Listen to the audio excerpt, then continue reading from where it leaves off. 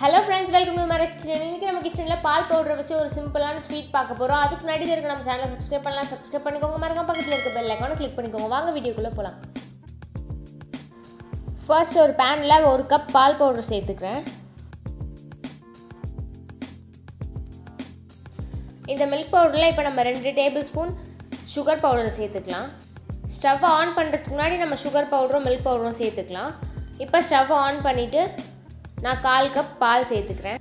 ஸ்டவ்வை ஆன் பண்ணிவிட்டு நம்ம மில்க் பவுடரும் பால் பவுடரும் சேர்த்தோன்னா கீழே அடி பிடிச்சிரும். அதனால் நம்ம பால் சேர்த்ததுக்கப்புறமா நல்லா கலந்து விட்டுட்டு அதுக்கப்புறம் ஸ்டவ் ஆன் பண்ணலாம்.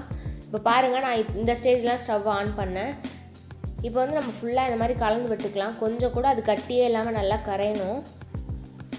இந்த ஸ்வீட் நம்ம பால்லையும் பண்ணலாம். ஆனால் பாலில் பண்ணோன்னா நமக்கு கொஞ்சம் நேரம் எடுக்கும். அது நல்லா கொதிச்சு அது ரொம்ப நேரம் சுண்டினதுக்கப்புறமா தான் நமக்கு ஸ்வீட்டே கிடைக்கும். இதுவே நம்ம பால் பவுடர்லாம் இன்ஸ்டண்ட்டாக அந்த பாலில் ஊற்றி கொதிக்க வச்சோம்னாலே நமக்கு ரெடி ஆயிரும். பாருங்கள் இப்போ அப்படியே திக்காயிட்டே வருது.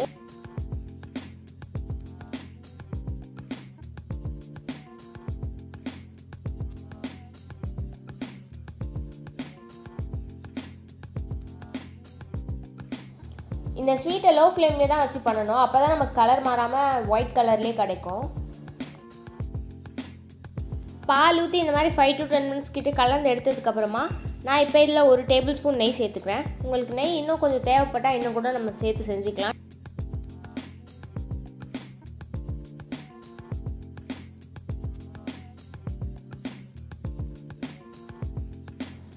இந்த மாதிரி நம்ம கலந்து விட்டுட்டே இருந்தோம்னா நம்ம சேர்த்த பால் எல்லாமே சுண்டினதுக்கப்புறமா இந்த மாதிரி கன்சிஸ்டன்சியில் வந்துடுச்சு பாருங்கள் எப்படி இருக்குது இந்த ஸ்டேஜில் நம்ம ஸ்டவ் ஆஃப் பண்ணிவிட்டு இதில் நம்ம கலர் சேர்க்க போகிறோம் அதுக்காக நான் ரெண்டாக பிரித்து எடுத்துக்கிறேன். நான் ஒன்றுத்தில் பிங்க் ஃபுட் கலர் சேர்த்துக்கிறேன். இன்னொன்று ஒயிட் கலர்லேயே இருக்கட்டும்.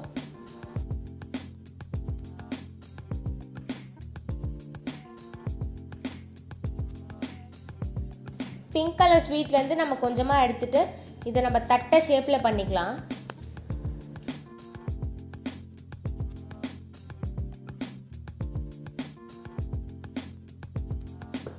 இந்த சைஸில் பண்ணிக்கிறேன்.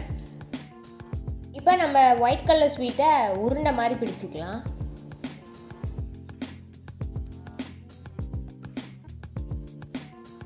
இப்போ நம்ம பண்ணி வச்சுருக்க பிங்க் கலர் தட்டையில் இந்த ரவுண்ட் கலரை வச்சுட்டு நம்ம ஃபுல்லாக அப்படியே ரவுண்ட் ஷேப்பில் பண்ணிக்கலாம். இந்த மாதிரி பண்ணோம்னா கொஞ்சம் பார்க்க டிஃப்ரெண்ட்டாக இருக்கும். ஆனால் டேஸ்ட் எல்லாம் ஒன்று தான் இப்போ அந்த மாதிரி ஃபுல்லாக உருண்டை பிடிச்சிட்டு இப்போ பாருங்கள் எப்படி இருக்குன்ட்டு. நான் கடைசியாக கட் பண்ணி காட்டுறேன். உள்ள கலராக இருக்கும் அவ்வளோதான் வேறு ஒன்றும் டிஃப்ரென்ஸ் இல்லை. நம்ம ஒயிட் கலர்லேயும் சாப்பிடணுனாலும் சாப்பிட்டுக்கலாம். இப்போ பிங்க் கலர் தட்டை மாதிரி பண்ணல அதே மாதிரி ஒயிட் கலர் பண்ணிவிட்டு இப்போ பிங்க் கலர் ரவுண்டை உள்ளே வச்சுட்டு நம்ம ஸ்வீட் ரெடி பண்ணிடலாம்.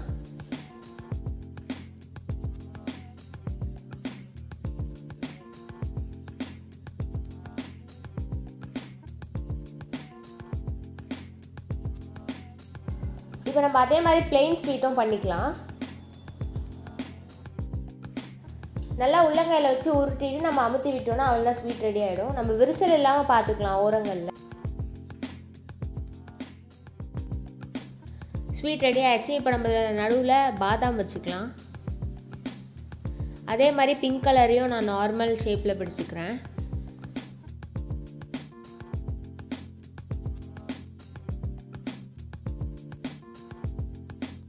பிங்க் கலர் ஸ்வீட்டில் முந்திரி வச்சுக்கலாம். கொஞ்சம் கலராக தெரியும்ல அதுக்காக. பால் பால் பவுடர் சுகர் பவுடர் இருந்தாலே போதும். நமக்கு சிம்பிளான ஸ்வீட் ரெடி ஆயிடுச்சு பாருங்கள் டக்குன்னு செஞ்சிடலாம். இப்போ நம்ம ரவுண்ட் ஷேப்பில் பண்ணி வச்சுருந்தோம்ல அதையும் கட் பண்ணி காட்டுறேன் எப்படி இருக்குன்னு பாருங்கள்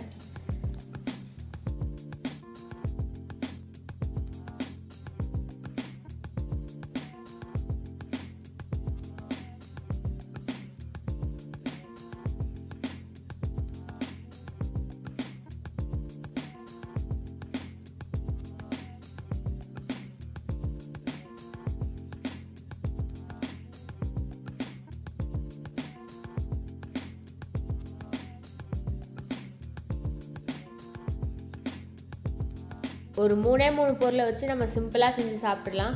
கண்டிப்பாக ட்ரை பண்ணி பாருங்கள் ட்ரை பண்ணி பார்த்துட்டு எப்படி வந்துச்சுன்னு கமெண்ட் பண்ணுங்கள் மறக்காமல் நம்ம மரக்ஸ் சேனலுக்கு சப்ஸ்கிரைப் பண்ணுங்கள்